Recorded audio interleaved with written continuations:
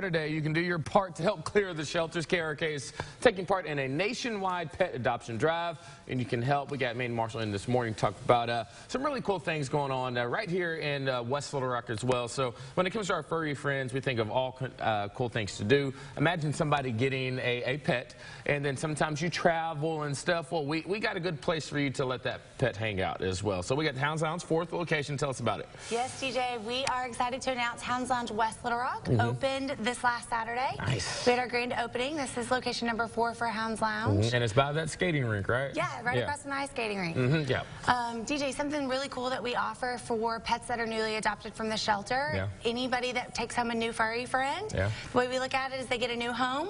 Yes. They should also go home clean. So we give complimentary baths yes. to any dog that's been recently adopted from the shelter.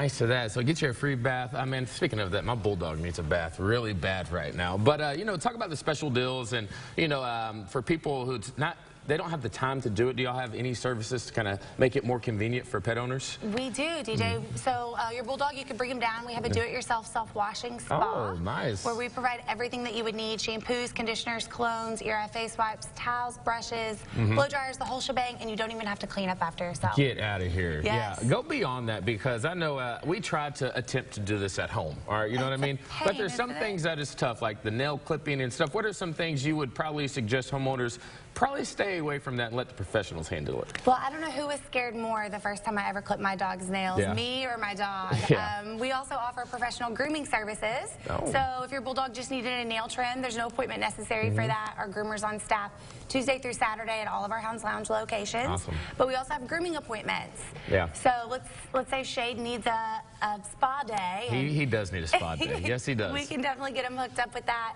All of our grooming appointments do come with a complimentary day of doggy daycare. Mm. So he can have a fun day while he's also having a spa Look day and play with all of his friends. Yeah, you see that. And uh, speaking of uh, Clear the Shelters, uh, finding us for Everhomes August 17th. And uh, how awesome would it be to adopt your new pup, take them old, old over to the Hounds Lounge and let them get a spa day. Man, our furry friends deserve this, and they need it. You know what I'm talking about? Is there a website they can learn more information about Hounds Absolutely. Yeah.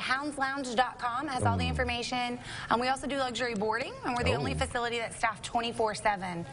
Look so at that. That's what I'm talking that your about. babies are well taken care of. Gotta love it. Yeah. Thank you so much. It's been a pleasure. Uh, big weekend coming up. Can't wait for it. And yeah, maybe Shade and Tallulah will both come by and hang Bring out. All right.